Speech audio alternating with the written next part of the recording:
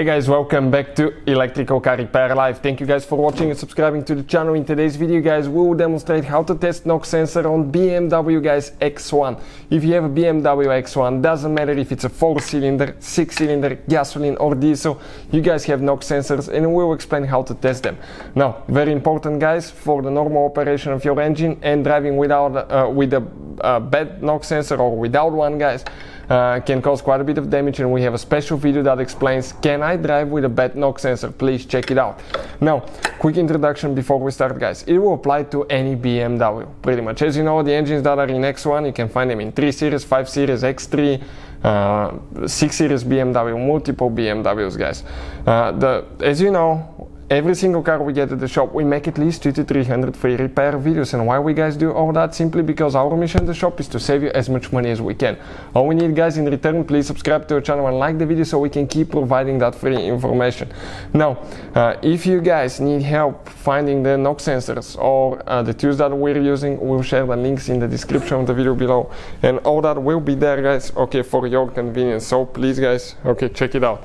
Now, what we have here, as I said, this is a six-cylinder N52 engine. But even if you have a four-cylinder, procedure is practically the same. If you want to remove and replace knock sensors, we have the video guys on the channel that explains how to do that. You have to remove the intake manifold. Then right here guys, those are your knock sensors and they will be mounted to the, okay, they will be mounted on the engine block guys, okay. Most likely on the engine block or the cylinder head, okay, kind of like that. So we removed ours and we're going to test what it does. But let's explain what the knock sensor does and how to know if it's good or bad, guys.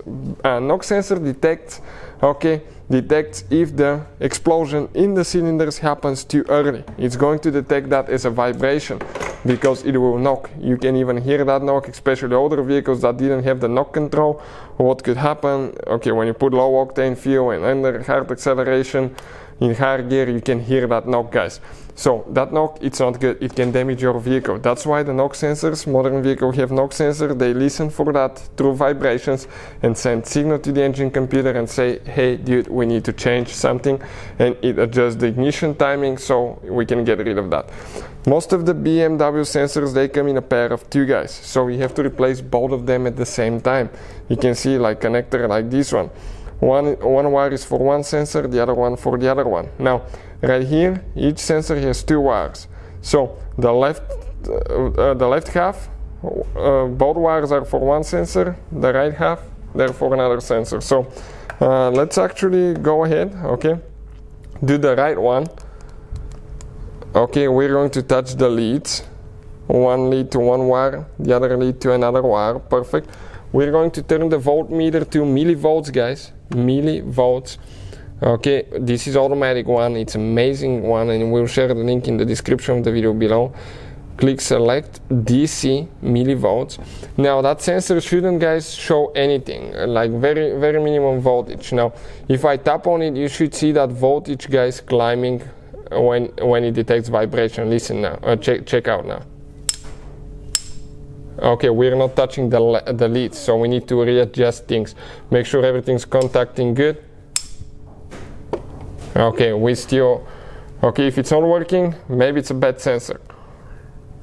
Maybe delete it. Okay, now we're, I think we'll be good. So check it out.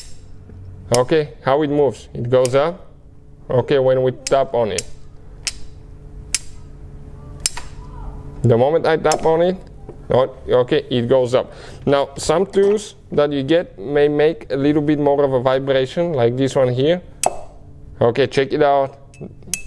It's going to detect that. So definitely guys kind of like hitting the sensor almost and that definitely detects that there is vibration and it's a working sensor. You can see how it goes up and down. So that definitely takes care of the problem.